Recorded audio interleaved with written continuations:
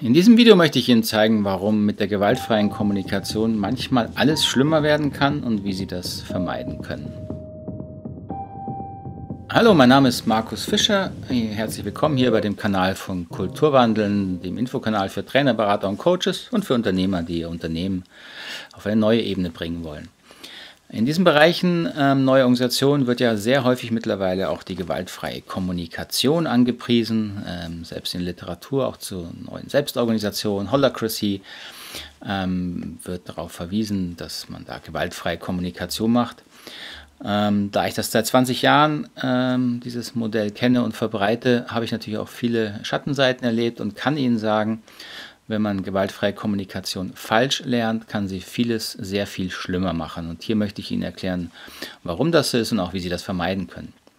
Vermutlich kennen Sie dieses Phänomen. Ähm, Ihr Kollege, Partner, Partnerin oder sonst wer ah, besucht Seminare zur gewaltfreien Kommunikation und plötzlich fängt er an, komisch zu reden. Ja, also er verwendet neue Begriffe, er sagt Dinge wie, ja, ich brauche halt äh, Unterstützung oder Aufmerksamkeit oder redet davon, wie er sich fühlt ähm, und reagiert anders auf ihre, ihre Äußerungen und sie merken, irgendwas äh, fühlt sich da komisch an. So, äh, das fühlt sich deswegen komisch an, weil die gewaltfreie Kommunikation falsch vermittelt zu einem sehr unauthentischen Kommunikationsstil führt, weil die Menschen anfangen, sich noch mehr selber im Kopf zu zensieren, als wir das sowieso schon die ganze Zeit tun.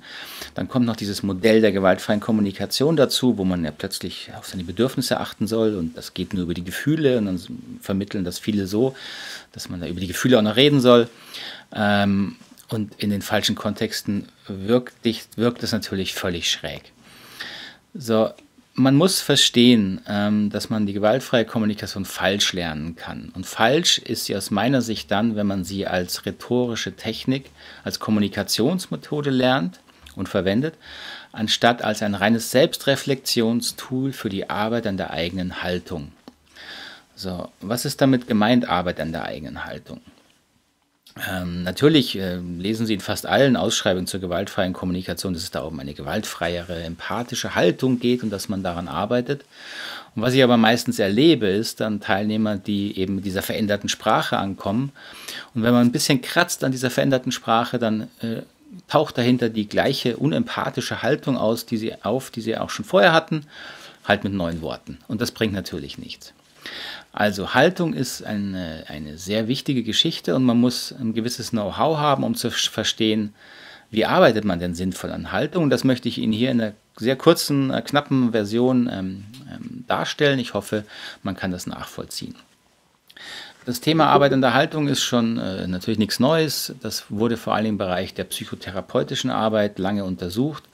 Und es gibt mittlerweile genug Erkenntnisse darüber, dass sich ähm, die, die Haltung des Menschen, man kann auch sagen seine Bewusstseinsebene, auch beim Erwachsenen ähm, verändern kann. Man hat das zuerst festgestellt in der Forschung, ähm, als man gemerkt hat, man kann, man kann ähm, nicht aus dem äußeren Verhalten darauf schließen, auf welcher, von welcher Bewusstseinsebene, von welcher Haltung heraus arbeitet denn jemand oder auf welche Haltung äh, ist er, beruht seine, ähm, seine Kommunikation und sein Verhalten. Dazu gibt es interessante ähm, Erkenntnisse, beispielsweise die Untersuchung der Moralstufen von einem Professor Kohlberg, der festgestellt hat, durch ähm, Befragung von Erwachsenen, dass sie ähm, eben von sehr unterschiedlichen ähm, Bewusstseinsstufen her äh, moralische Entscheidungen treffen. Kohlberg hat ein sehr berühmtes Experiment gemacht. Er hat äh, Menschen vor ein moralisches Dilemma gestellt, in dem Fall um, ging es um die Aussage, dass ein, das ähm, stellen Sie sich vor, Ihr Partner, Partnerin ist schwer krank und ein Apotheker in Ihrer Stadt hat ein heilendes Medikament, das wissen Sie. Der verkauft es aber zu völlig unangemessen hohen Preisen, weil er gierig ist. Und die Frage ist jetzt, dürfen Sie das Medikament stehlen? So, Kohlberg hat dazu eine Menge Erwachsenen befragt ähm, und deren Antworten ausgewertet. Und das Ganze hat er dann nach ein paar Jahren nochmal gemacht. So, und in diesen Auswertungen kamen sehr interessante Muster zutage. Man konnte diese Antworten der Erwachsenen grob in drei Blöcke unterteilen. Die einen haben gesagt, ja, ich darf das stehlen. Dann gab es eine Fraktion, die hat gesagt, nein, das darf man nicht stehlen. Und dann gab es eine dritte Fraktion, die hat auch gesagt, ja, man darf das stehlen. Also das gleiche wie die erste, ähm, die erste Fraktion. Aber der große Unterschied lag in den Begründungen. Ähm, und aufgrund dieser unterschiedlichen Begründungen hat Kohlberg dann drei moralische Entwicklungsstufen ähm, ähm, herausgefiltert, die man heute auch nochmal differenziert hat. Und wo es jetzt nicht darum geht, sind die genau richtig, gibt es nur drei, das ist nicht mehr Punkt, sondern einfach zu erkennen, dass Erwachsene verschiedene Haltungen in sich tragen und die sich auch weiterentwickeln können. Kohlberg nannte diese drei Stufen die, die präkonventionelle, konventionelle und postkonventionelle Stufe. Ganz kurz gesagt, die präkonventionelle interessiert sich nicht für Konventionen, deswegen heißt sie so. Und die hat natürlich gesagt, ja, darf ich stehlen, interessiert mich nicht, was Gesetze dazu sagen, Hauptsache meinem Partner geht es besser, Partnerin. Also eine sehr egoistische Sichtweise, die nur darauf im Grunde geguckt hat, äh, habe ich mehr Nachteile als Vorteile und wenn ich mir mehr Vorteile verspreche, sage ich ja. Also darf ich stehlen, stehle ich einfach. Die zweite konventionelle Ebene, die beachtet die Gesetze und laut Gesetz darf man nicht stehlen, also stehle ich es nicht. Mal sehr schlicht gesagt. Und die dritte postkonventionelle Ebene sagt auch, ja, man darf das stehlen, aber aus einer anderen Begründung. Sie begründet das Ganze äh, damit, dass sie universellere ähm, Gesichtspunkte mit einbeziehen lässt. Zum Beispiel die Aussage, ein Menschenleben ähm, muss immer mehr wert sein als ein Gesetz, das mir verbietet zu stehlen. Zu stehlen. Ja, und aus dieser, das ist also keine egozentrische Begründung, das ist mehr eine universale Begründung. Aus dieser Haltung heraus haben diese Menschen gesagt, ja, man darf das Medikament stehlen. So, was Kohlberg nun gemacht hat, er hat das Experiment wiederholt und interessanterweise festgestellt, dass wenn sich Erwachsene verändert haben, dann sind sie immer von der präkonventionellen ersten zur konventionellen oder von der konventionellen zur postkonventionellen, aber nie zurückgegangen. Also niemand hat sich von der postkonventionalen Haltung in eine präkonventionelle entwickelt, und da kam man eben langsam auf den Trichter, aha, unser menschliches Bewusstsein, unsere Fähigkeiten, ähm, auch empathisch zu sein, äh, auf andere Menschen einzugehen, entwickelt sich weiter und es hat eine gewisse Richtung. Und vor allen Dingen hat man eben festgestellt, dass man am Äußeren, am Verhalten, an, an den Antworten, denen die Menschen äh, erstmal gegeben haben, nicht gleich sagen kann, aha, du bist also hier äh, präkonventionell. Also man musste sich mit ihnen unterhalten, man musste die Begründungen verstehen.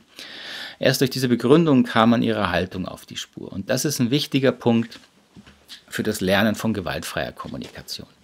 Gewaltfreie Kommunikation heißt nicht, welche Worte Sie verwenden, sondern im Grunde, ähm, welche Haltung hinter Ihren Worten steht. Also wenn man Sie dann fragt, warum Sie Nein sagen und wie Sie das dann begründen oder warum Sie Ja sagen, dann daran erkennt man Ihre, Ihre Haltung.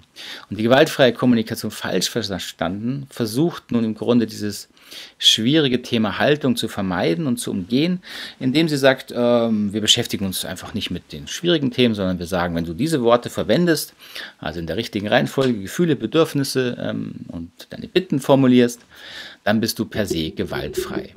Und das, diese Aussage hat die Forschung lange widerlegt.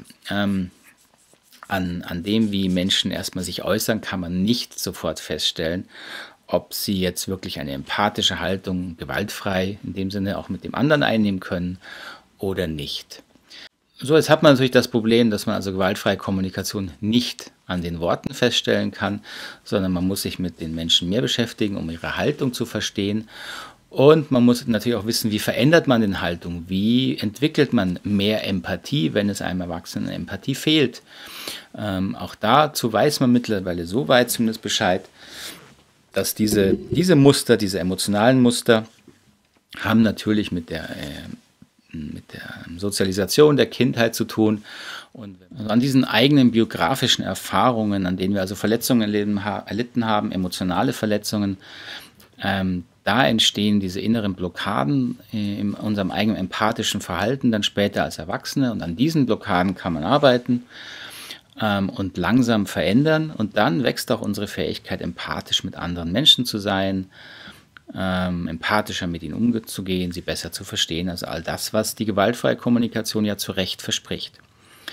Diese Arbeit an diesen, äh, wie wir sie nennen, Empathielücken, ähm, dauert aber wesentlich länger als ein Einführungswochenende, ist meistens bei den grundlegenden Themen ein Prozess zwischen einem halben, ein bis auch manchmal drei Jahren ähm, fortlaufender innerer Arbeit. Und das geht eben nicht so schnell. Und vor allen Dingen nützt es dafür eben nichts, wenn, wenn man einfach nur eine neue Sprache lernt, ähm, wie es leider in fast allen Seminaren zur gewaltfreien Kommunikation, die ich jetzt so mitgekriegt habe und über meine Teilnehmer erlebe, ähm, praktiziert wird.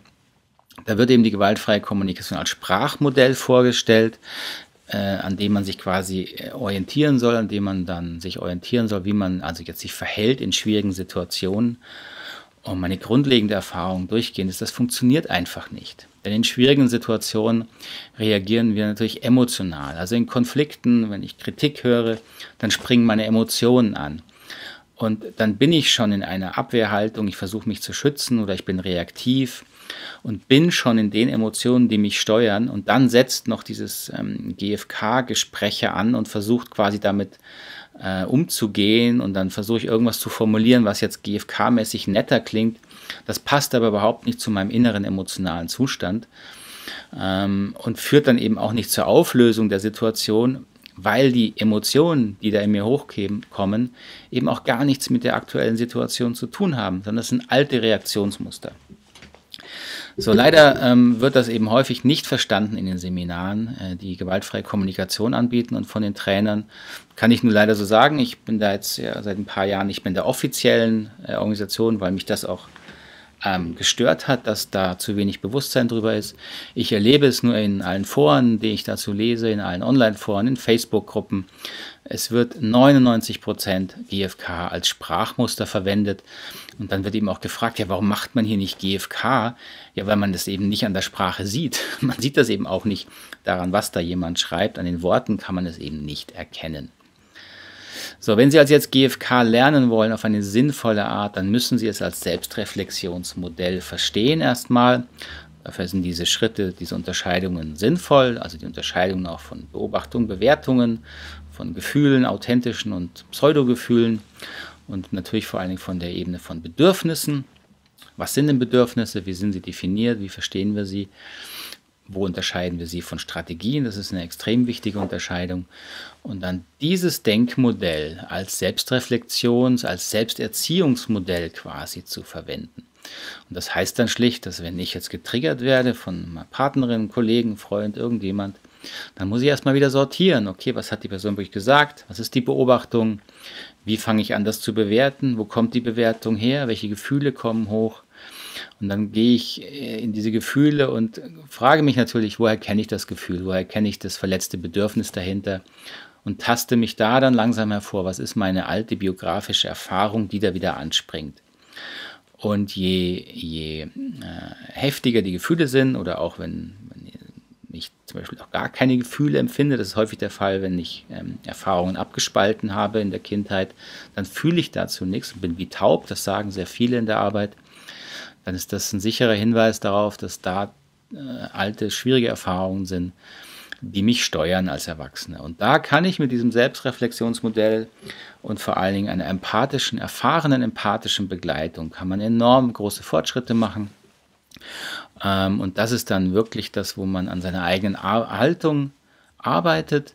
Und das hat auch langfristig dann Wirkung. Das erlebe ich an mir, das erlebe ich an meinen Teilnehmern, dass sich dieses, dieses Selbstreflexionsmodell dann wirklich im Alltag auch zeigt. Weniger in einer veränderten Sprache hoffentlich, äh, manchmal in einer ein bisschen anderen äh, Sprachfärbung vielleicht, einem anderen emotionalen Zustand vor allen Dingen der aber dann wirklich authentisch aus der Person herauskommt, weil sie eine andere, eine andere Haltung entwickelt hat. Und das ist für mich das Wichtige, dass wir authentisch bleiben in dem, wie wir uns verhalten und sprechen und nicht ein weiteres Sprachmodell ähm, verwenden, das uns wieder zensiert äh, und uns im Grunde ja noch weiter wegbringt von dem, wie wir uns eigentlich authentisch fühlen und uns ausdrücken wollen.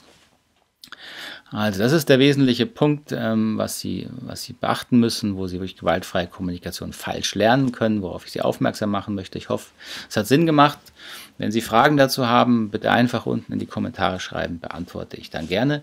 Und sonst stöbern Sie doch noch ein bisschen hier auf dem Kanal. Wir haben noch mehrere Videos zu dem Bereich, wie Sie gewaltfreie Kommunikation, das Rosenberg-Modell sinnvoll lernen und verwenden können. Soweit erstmal. Alles Gute noch bis dahin. Tschüss, Adi.